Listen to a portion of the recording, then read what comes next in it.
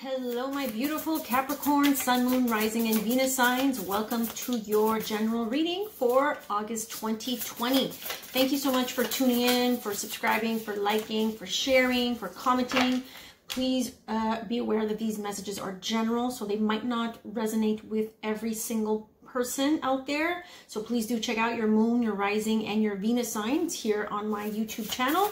If you're new to my channel, welcome. You can also follow me on Instagram and Facebook where I try to post as much uh, information as possible regarding the astrology, regarding the energy shifts through my stories. You can check me out there. Um, your ruling planet Saturn is currently in retrograde. Okay, it wants to come out. Um, it's hanging out with Pluto and Jupiter, so there's a lot of changes. Saturn represents authority figures, power, people that are in power. It can represent your career, it can represent the, the parts of your life and of your, your being that are being restricted and limited um being in capricorn right? Saturn is in capricorn right now but it's all going it's all in retrograde. And i believe that your your ruling planet saturn will be going back direct in probably in september if i'm not mistaken. September. Sometime in september. So if you feel like things are stagnating um things are not moving forward uh, the energy is constantly you know, bringing up conflict and restrictions and and um, unexpected events. This this has to do with the current astrology. So your ruling planet is is wreaking havoc, right? So obviously you're going to feel it as above so below and as i tune into your first two cards here capricorn this has to do with relationships okay so kindred kindred partnership people, right? We're talking about people in our lives, people who uh, we have a connection to. It feels like a deeper connection to. However, there is some unexpected events here happening. So conflict, conflict in the air here. Storm, a storm. A storm is coming. Did it or did it already happen, right? Time is an illusion. Energy is fluid some of you might be dealing with someone or you might be the person who is conflicted, conflicted when it comes to the commitment that you signed up for, to the partnership that you signed up for. It feels like some of you are married because commitment, this is contracts. Maybe you're dealing with someone who also um, is married and going through uh, some uh, separation issues, right? When this comes in. So maybe, you, it, you know, it could be the cross watcher of um, Saturn, uh, of Saturn. Oh boy, Saturn is wreaking havoc. Of Capricorn, or this can be you, right? So there's something contractual that's causing some delays for some of you, conflicts with other people, conflicts within the relationship, Okay. Now, a lot of you here, a creative endeavor. It feels like for some of you, your, your whatever connection you have here lacks creativity, lacks, you know, creativity is essentially self-expression. So we all need to tap into our creativity because we all express our, our ourselves, our emotions in a very different way. That's why it's called creativity. Everyone is is gifted a different creative talent, a, a, a different creative ability that allows them to express how they feel about a subject, about a person, about a situation, about an event, right? Some of you might be playing music, taking pictures, photography, painting,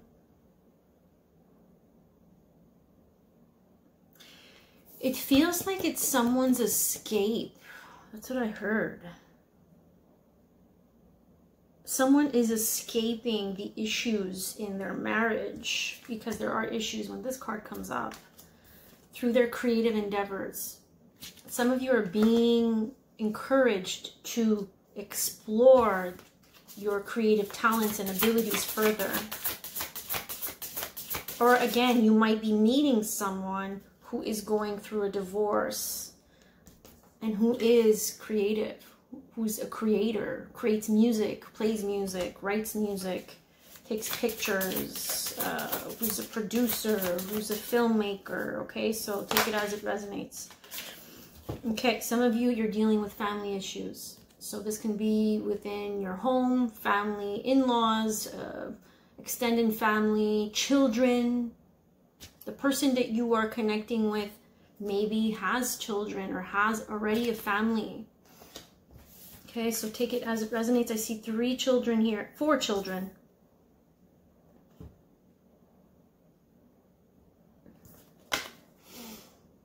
Okay, doesn't have to be four, but in the card I see four. I think one of you in the card is the inner child because I see two girls, the inner child or your spirit guide I'm hearing can be the one who is um, guiding this creativity, this in, this creative endeavor. Okay, let's get one more, please. These are the Quantum Oracle card decks. Yeah, so new supportive connections. I feel like there's, for some of you that are, are in a marriage and that has a little bit of conflicting energies because of family, it feels like you've met you've met someone or other people through your creative uh, project. Okay? That's what I'm feeling. But there's a lot of stuck energy, victim mentality. This card came up in my Friday reading. It feels like you're stuck. Stuck in a marriage, stuck in a situation that is not allowing you to be your true self. Okay? We're to put that one there. All right, let's get some... Where are we going with this, Spirit? Okay, we're to go with the Tattoo Tarot deck and see what comes up for my Capricorns. Sun, Moon, Rising, and Venus signs. Venus is the planet of love, relationships. This is why you look at that placement to see what sign it's in. Eight of Cups. Someone walked away or is about to walk away or feels like walking away, saying goodbye to a, connection, saying goodbye to a relationship. Eight of Cups. This is about walking away. This is about leaving a situation behind, leaving a person behind. Three of Coins. Something about work. You might have met them at work. You might meet them at work. Again, this is work it feels like you're going towards this new supportive connection that feels work oriented but has a creative vibe to it. Yeah, it feels like you're wanting to move forward. You want to charge ahead with the chariot. Maybe you're dealing with a cancer or maybe the cancer has is the one who's going through all of this, but it's a cancer maybe a step forward into your life. But the chariot means you want to move on it's progress, forward movement. Let's move forward. Let's stop looking back. Let's walk away and move forward. The energy, it's a universal energy. The chariot is um, a major arcana in the tarot deck. So it means it's universal. It means it's undeniable. It's, it's gonna happen. Ace of Swords, Two of Coins. There's some news here that someone gets with the Ace of Swords. This is some uh, form of communication. Um, messages, communication, breakthrough, clarity. And then it leaves you with a choice. Balancing, weighing out two options. Three of Cups. This can be a third party for some of you. Again, this is someone outside of a marriage, outside of a connection, uh, outside of a partnership. You might be the third party, Three of Cups.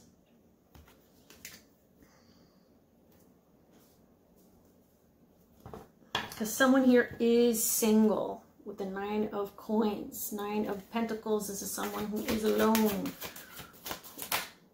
Five of Cups. There's regret. Sadness. Some form of news come, comes in. There's regret. But again, there's a third party involved. Six of coins. The feeling is mutual. Seven of coins. You're, you receive something. Someone receives something. Again, it could be a message. It could be an email. It can be some form of communication. You see how there's a there's a, an envelope here. In this deck, you know, it's about receiving. But it's reciprocity.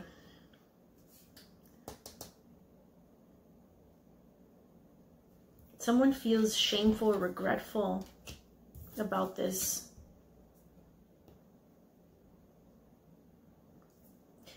Someone's taking their time to reveal the truth. Seven of coins. We're planting our seeds. We're waiting. We're, we're, you know, we're buying time here. Seven of coins, seven of pentacles. To reveal the truth, the sun. Leo. Leo energy. Maybe you're dealing with a Leo. You have Cancer and Leo here. What other messages about this uh, scenario do we want to give? Six of Swords about wanting to leave.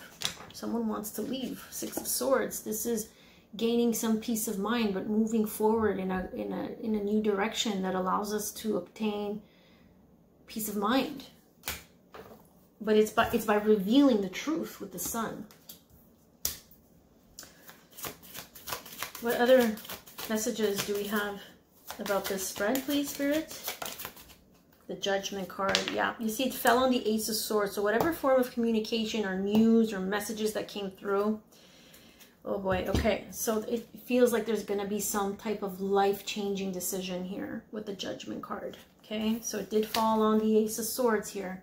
So you're going to have to, someone here is going to have to make a decision. The universe is going to force you or force them to make a decision. Yeah, Five of Wands, there is conflict. You know, we see it right away. We saw it, right? Conflict, competition.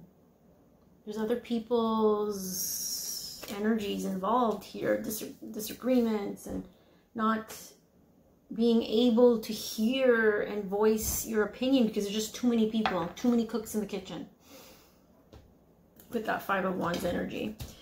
Uh, let's get some romance, angel cards to see what else, what other energies can we pull for August 2020 for my dear Capricorns.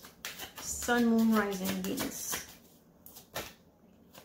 Oh, someone's going to have to make a decision about whether or not they want to give their relationship a chance. It fell on the Judgment card and the Ace of Swords. I'm not feeling those. Let's get some other ones, please. Okay, forgiving and learning. Attraction. As you release and heal the past, you experience more love in your present moments. Someone is holding on to something. Someone is living in the past instead of living in the present, because this is about living in the present. Attraction says you attract romantic love by enjoying this moment fully. There's something here, there's an issue here that's preventing someone from moving forward, from forgiving, learning the lesson, and then the wheel turns. Oops, my earrings fell. Um, someone needs to really just accept the moment, accept the present the way it is, take it as a learning experience, unrequited. Children. Make the effort. Great love is worth taking. The steps you're guided to take.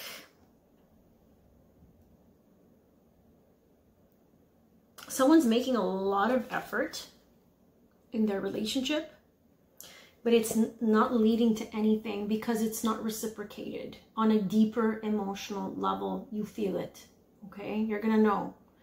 So there's not enough attraction or chemistry to keep this relationship going because there's a lack of reciprocity but i feel it feels like someone is going to find it in another person or has already found it in another person it feels like the only reason what is really connecting you with your partner is your children or their children take it as it resonates your love life is being affected by children there's a, a, a disconnect between you or someone else or the person that you're dating or you're seeing on the side i don't know but there's a disconnect. We see it here. Someone's making a lot of effort. Someone is making a lot of, you know, moves here to make someone happy because it did fall on the sun card, happiness. Uh, to make someone happy because of children. But at the end of the day, they're not happy and they're not being honest about it, right? With the deception card. So someone is wearing a false mask in this relationship someone needs to get honest or you know be honest with themselves to begin with no, that can be you or the person you're connecting with. Take it as it resonates. Let's see what the angel answers have to say. What messages, what advice, what energies can we pick up? Success. Reconsider. I don't know, Capricorn, but whatever it is that's going on, they're saying to reconsider. And it's going to work out going to work out. And it did fall on the attraction card. So it means that you really need to step into the present moment and really get honest and real about what it is that you're feeling and not allowing other people or other external factors to determine how you feel within yourself. Someone's going to reconsider something. If this is not you, it's going to be the other person. It's up to you. That's it. It's really up to you. You have free will to see it as a win-win situation.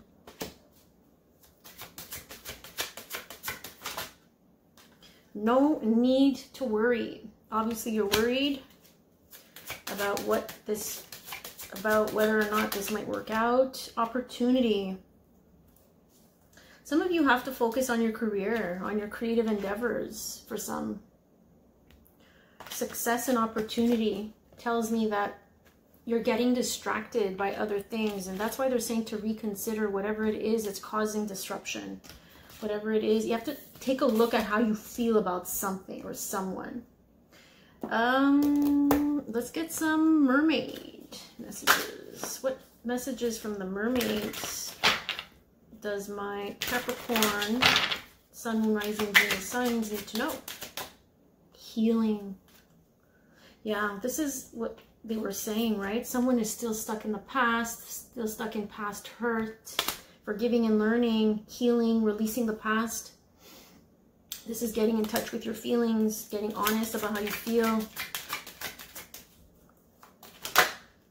It feels like you're part of a tribe or you're being encouraged to find a tribe of people, a support system to help you heal and connect with higher sources. Abundance, for some of you, this is you healing that lack mentality because some of you have, you know, money is energy. So if we were raised in a in a mentality that doesn't honor money in that way, then we'll we we grow up as adults to block money un, subconsciously speaking subconsciously because we need to heal that wound this is for some of you, okay? So being in alignment with abundance means that we have to feel already abundant. If we feel lack and not good enough, and that's how we continue to attract people, places, things that reflect that lack of self-worth uh, acceptance. Like i said you need to accept something in the present moment getting real getting honest about something that is going on. By being present not numbing out really feeling and being present and accepting what is happening within and without. At the end of the at the bottom of the deck breaking free because you are tied to something. You are entangled in something. You're trapped and you, your your soul, your spirit is probably giving you a lot of signs through your feelings about how to break free. Okay, break free. breaking free. We're going to end this reading with a an affirmation card, Super Attractor deck, which speaks all about manifesting being in alignment with our abundance, which is perfect for you in this reading. Abundance, you know, is comes in many different forms. Abundance of money, abundance of love, abundance of gratitude. Okay, so let's go with this one. Spiritual alignment. There we go. I was talking about how you have to be in alignment with whatever you want to call in or whatever it is that you desire on a deeper level. Spiritual alignment puts my manifestation into motion. Then we have the next affirmation card. When I'm in a state of appreciation, I'm in vibration. I'm in a vibrational alignment with my true love nature. Oh, wow, that's beautiful. When I'm in a state of appreciation, gratitude, this is all about being in the present, accepting what is. I'm in vibrational alignment with my true love nature. This is not about what could have, should have, would have, right? It's about you being in this place of appreciating what is right now in this moment. Not looking without, but going within. I'm feeling the fairies here. We're 21 minutes. Okay. The fairies are calling me for you guys. Let's see what other messages come up for you. Yeah, business venture. For some of you, this is embarking in a different career, different business. Maybe uh, some of you might have to travel. So it says here, business venture, trust and follow through on a new business idea or career opportunity. Okay, so that's for some of you. Travel, an upcoming trip proves to be life-changing in positive ways. Just like local travel, obviously. I'm not too sure how many how many of us can inter, can travel internationally, but there's a trip. There's some movement, or someone is coming towards you. Because we did have that chariot, and chariot can be about a, an arrival of something. Spiritual teacher your love, your life purpose involves teaching others about healing and spirituality. This is about you uh, tapping into your creative endeavor because you're creating something, whether that's music, that's uh, video games, producing, photography, whatever it is that you're creating. It heals. There's something about what you create is very healing for people. So maybe you need to tap into that energy. And it's very spiritual. Creation is spiritual. Creativity is spiritual. Okay, for some of you, you are being encouraged to continue this path of becoming a spiritual, an actual spiritual teacher. Okay, like myself, like other YouTubers out there who read cards, who channel, who do astrology. This is all spirituality. Your desire is within reach. Have faith as everything is working in your favor. Wow. Everything is working out because when you are in alignment with your purpose, that's when your true manifest your it puts your manifestation into motion. Interesting, right? All the all the messages are coming full circle. So Capricorn, I hope these messages were insightful and helpful. Please like, subscribe, comment, share if you find these messages resonated with you and, and, can help someone you know. And you can follow me on Instagram and Facebook. And you can contact me for a personal reading through my website and also through my uh, Etsy shop. So I'm wishing you all the best in the month of August 2020. And I'll see you on the next one. Take care.